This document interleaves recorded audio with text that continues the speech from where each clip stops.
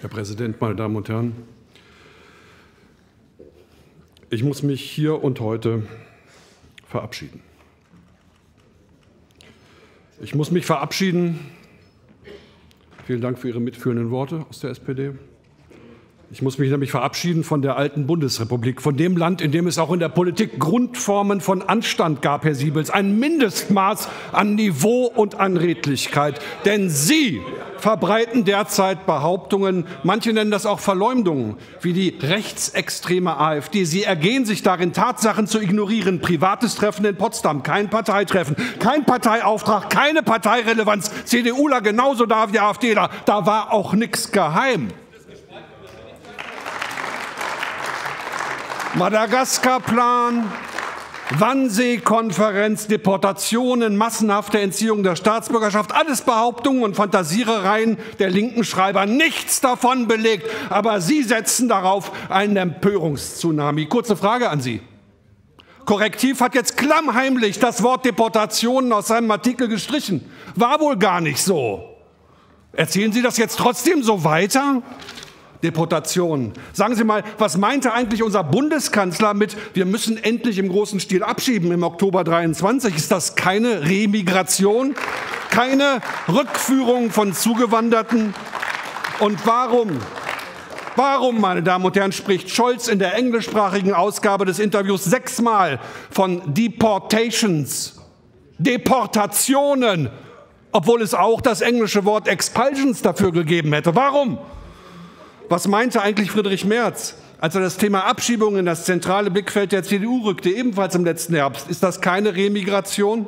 Und was meinte eigentlich der CDU-Generalsekretär Linnemann mit seiner Forderung, bei doppelter Staatsbürgerschaft zu prüfen, ob man gegebenenfalls die deutsche entziehen könne, um dann rechtlich ordnungsgemäß abschieben zu können? Keine Remigration? Sie kapern Begriffe, propfen eine verleumderische Bedeutung obendrauf und posaunen das Produkt durch die ihnen begeistert folgenden Medien. Sie sind jeden Beleg dafür schuldig geblieben. Es handelt sich um einen Begriff, der irgendwie kontaminiert sei. Mit Beweisen halten Sie sich gar nicht mehr auf. Es dient ja der guten Sache. Ihre Verleumdungen sind nichts anderes als eine zeitgemäße Fassung einer Hexenjagd. Willkommen zurück in der Voraufklärung. Herr Kollege, Herr Kollege Wichmann. Herr Kollege Wichmann, ich muss Sie an dieser Stelle einmal kurz unterbrechen. Sie haben jetzt zum dritten Mal, wenn ich richtig mitgezählt habe, den Begriff der Verleumdung äh, verwendet. Eine Verleumdung ist der Vorwurf einer Straftat und wir waren uns hier im Hause immer darüber einig, dass der, der Vorwurf einer Straftat gegenüber Kolleginnen und Kollegen nicht angebracht ist. Ich darf Sie bitten, zukünftig auf diese Formulierung zu verzichten. Herr Präsident, ich, ich danke für den Hinweis. Ich werde das berücksichtigen und zukünftig von stumpfen Behauptungen sprechen.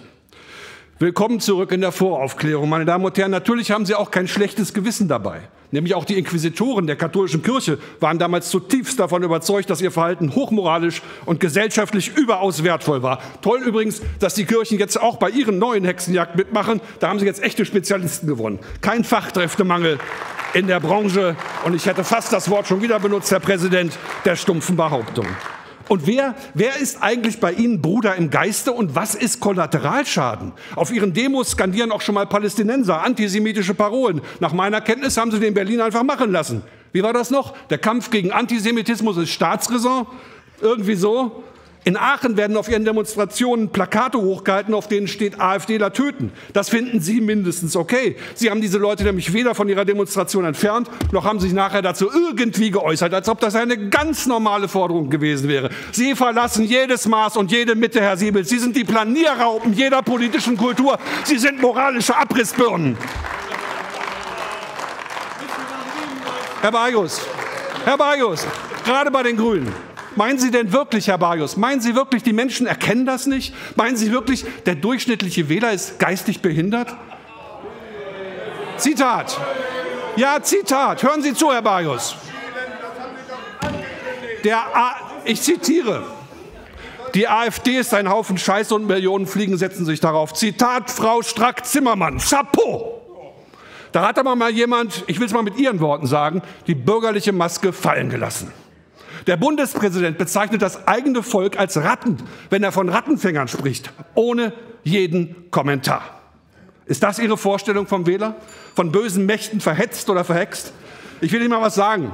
Die Leute wenden sich in erster Linie von Ihnen ab, weil Sie politische Versager sind, weil Sie die Menschen drangsalieren, weil Sie sie unaufhörlich bombardieren mit Veränderungen, die keiner mehr will, von Genderwahn bis Heizungsgesetz. Und wenn die Menschen sich gegen schlechte Politik auflehnen, dann sind sie Schmeißfliegen. Das Volk, meine Damen und Herren, ist keine Schmeißfliege. Das Volk ist der Souverän dieses Landes. Nicht Sie sind der Souverän dieses Landes und nicht wir sind der Souverän dieses Landes. Nicht die Kirchen, nicht die Medien, nicht die Verbände, das Volk. Und Sie können sich das Volk nicht aussuchen. Das Volk aber sehr wohl seine Regierung. Vielen Dank.